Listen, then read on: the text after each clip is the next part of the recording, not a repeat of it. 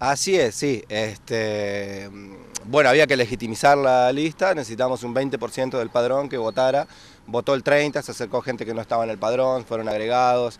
Eh, fue una buena oportunidad para charlar con los vecinos, conocer otras problemáticas, eh, tomar unos mates, conocernos. estuvo muy bueno. Y bueno, como primer paso eh, quisimos empezar, si bien, esto lo quiero aclarar, no pertenece a nuestro barrio, la costanera, porque luego de algún iluminado que hizo una ordenanza nueva y nos sacó las dos cuadras de costanera que teníamos, hay una ordenanza donde se arma el barrio Ampliación del Irigoyen, este, y bueno, nos saca la, costanera. Pero bueno, el río es de todos, por eso la invitación es abierta para vecinos, no sé, del barrio Luján, del barrio Esperanza, de donde quieran, asociaciones sin fines de lucro, con fines de lucro, no importa, el tema es que ayuden. Eh, el domingo a las 10 de la mañana nos juntamos en la esquina de San Martín y Las Heras, que es donde está Pros Rentas, nos juntamos ahí y nos vamos para, mm, para la costanera y vamos a comenzar con una limpieza. Para limpiar no necesitamos permiso porque vamos a limpiar. Les pido por favor que a todo aquel que se quiera acercar a colaborar lleve sus guantes, su barbijo por una cuestión eh, de seguridad, de higiene.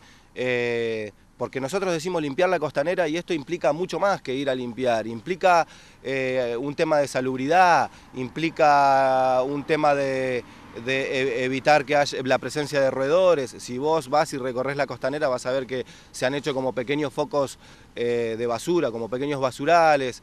Eh, realmente está fea y lo que queremos es hermosearla un poco.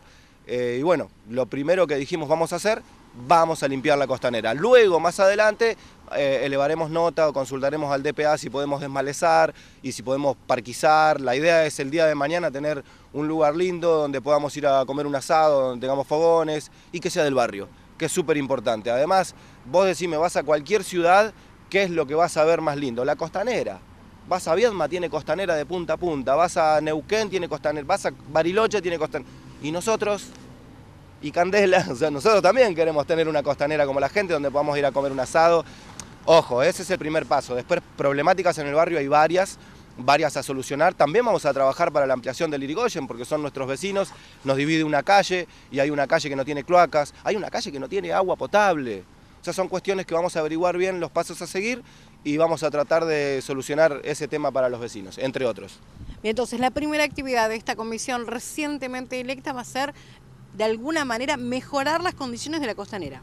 Sí, una cuestión ecológica, de salubridad o como quiera llamarlo, eh, pero sí, yo quiero que mi hija cuando vaya a la costanera no tenga peligro de contagiarse de un hantavirus, de, que, de contagiarse de una enfermedad, de que tenga el desagrado de ver basura, roedores, y es increíble, es un lugar hermoso.